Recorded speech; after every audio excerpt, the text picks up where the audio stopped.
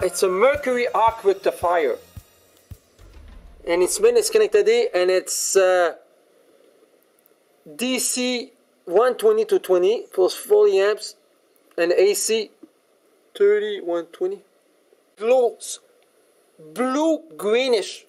It's beautiful all inside. They still use those things for the uh, subway in New York in some places to make the AC current into DC current. It's DC voltage. And uh, the way it was done is that you had the AC coming in on, on each of the sides and the DC would come out on the top and this would start the actual reaction. So in fact, it's backward. It, it, it, it's supposed to be on the other side. When Turn you hold it upside up, down? Yeah, turn, it- turn it upside down. Just be careful not to drop it.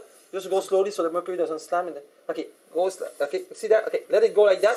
You mm-hmm. see, this is the starting electrode. And you start the, the arc inside, and then after that, it's a little bit like a mercury discharge lamp. And when the glues the discharge start, then you could put the AC in, and the DC would come out at the end. Slowly in the middle there. Yeah. This side yeah, or the other like way? that. No, like that. Perfect. Now you see the way it fits? Yep. Bring at the bottom there. Okay. Okay. And at the time to, take any. It's, it was there because see, DC is there, Mm-hmm. and it says probably was hooked up to one of those. So now, it was charging that machine in DC current? Yeah, yeah, because DC is Oh, because of batteries, right, of course, yeah. This was the what is the diode today? This was the ancestor of the diode with the rectifier. The rectifier, the whole time there was only one way to do it, and it was with tubes. Today they do it with semiconductors. No, could- the same thing today could be replaced with a semiconductor about that bi- that big, about a couple of them. That's all. But at the time, the only way to do it was with a, a mercury discharge lamp. That one is on a gimbal. Okay. Okay, you see that? It's on mm-hmm. gimbal. Okay. Mm-hmm. So what they did, okay? You see in the front, if you, there, there's a knob there, okay? You see Yes, the knob? yep. They turn it up, and what happened is that it short circuit the mercury.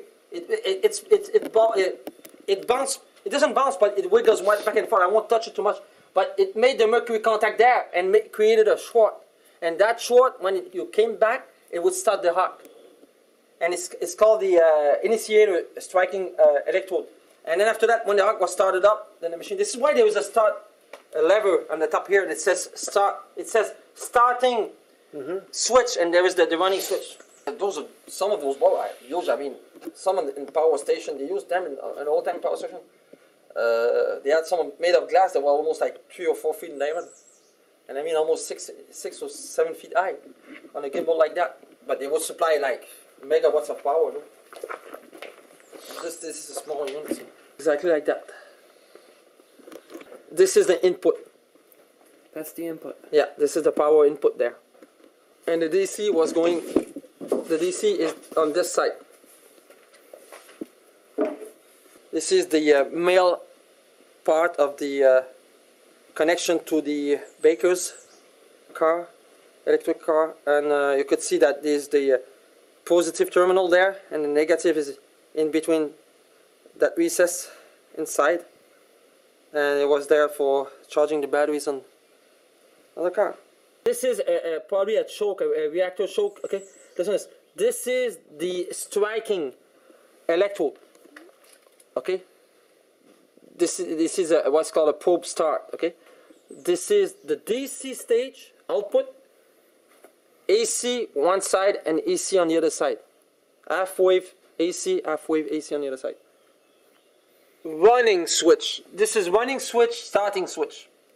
Limit current. That's a reactance choke Yeah, to limit current. at the bottom. Yeah. Steve? It's a resistor grid, and and I don't know if because I'm trying. Oh, okay, okay, there's a there's a name plate here because I want to be gentle with it. I don't want to. See, there is a there is a uh, That's a resistor grid. yeah, and there is a rating on it, but I don't want to scratch it too much because it removes the the importance of the part if you try to scratch it.